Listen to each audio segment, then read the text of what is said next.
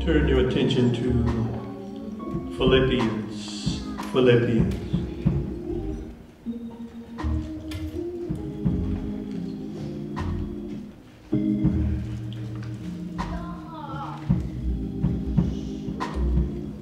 The fourth chapter. And I want to believe, begin reading at the third verse. Philippians that letter that Paul wrote to this great church at Philippi. The church that always was there to be a great supporter of the Apostle Paul. A great church. I would pen these words to the church at Zion Hill if I had the opportunity. I want you to know you are a great church. Somebody ought to say amen. Greatness is not defined numerically. Greatness in the Lord is defined spiritually. And if you're growing spiritually, you are a great church. Amen. Philippians, the fourth chapter, and the third verse. And I'm going to read until I get happy. I get happy on the word of God, Brother Paul Harden. I just don't sing. I get happy on the word. I love singing, but the word is a delivering word. You would be so kind and so Christian to just stand to your feet as we read from these scriptures. And if you have the King James Version and the Spirit moves on you, join right in with me as we read with power from the didactic word of the Lord found in Philippians, the fourth chapter, starting at verse 3. It says, And I entreat thee also, true yoke fellow, Yeah.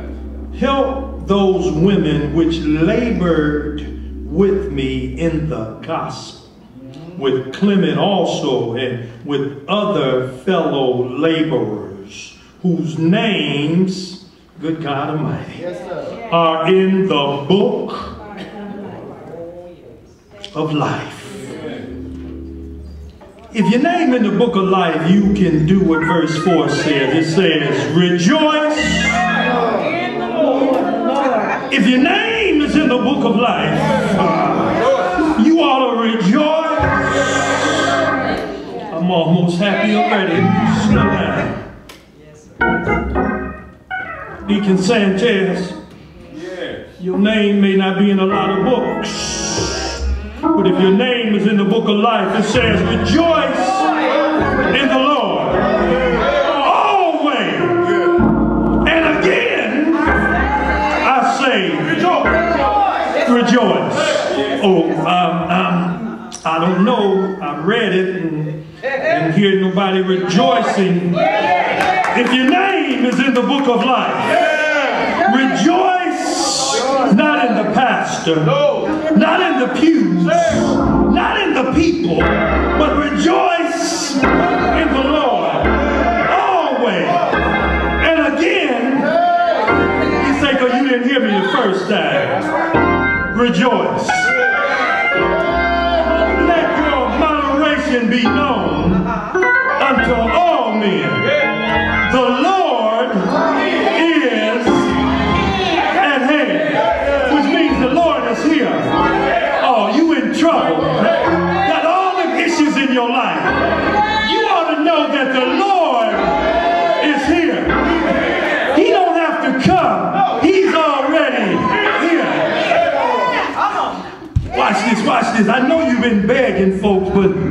the Bible. Here's the Bible.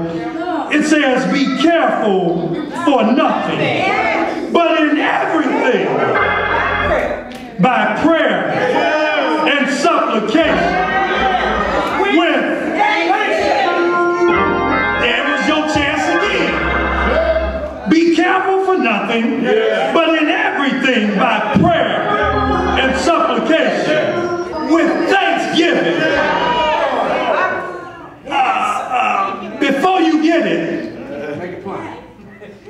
thankful for.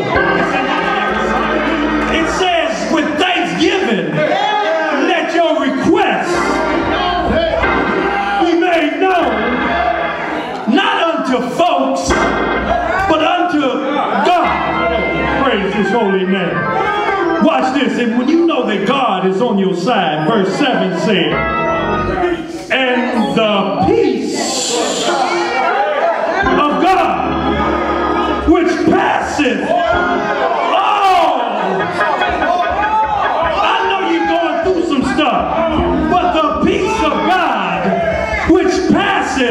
Oh!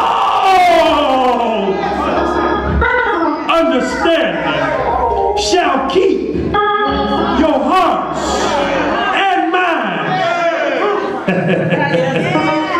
through Christ Jesus. This Paul said, I'm finished. I'm putting down my pen. Finally, finally, brethren, whatsoever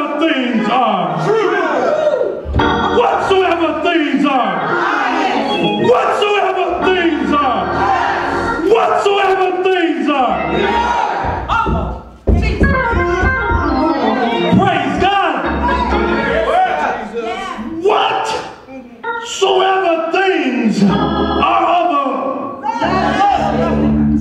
whatsoever things are. Here- here- here- here's the condition. Here's the condition. Here's the condition. We're going to see where you are. He said, if there be any virtue.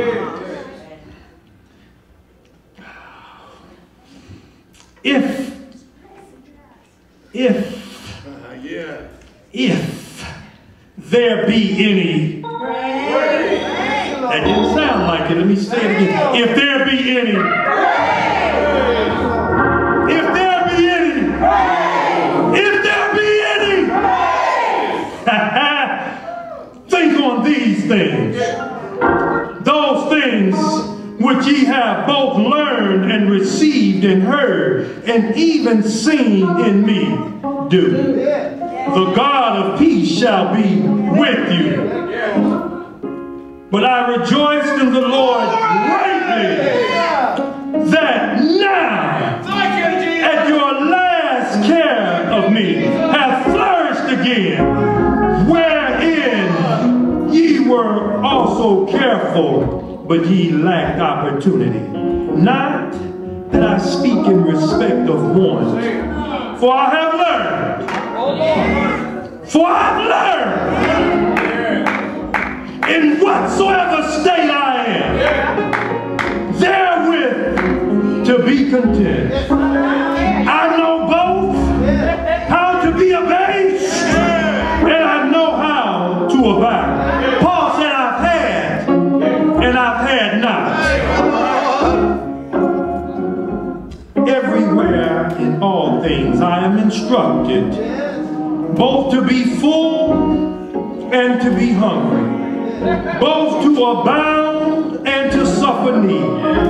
Thank you, Lord. I, I can do all things through Christ.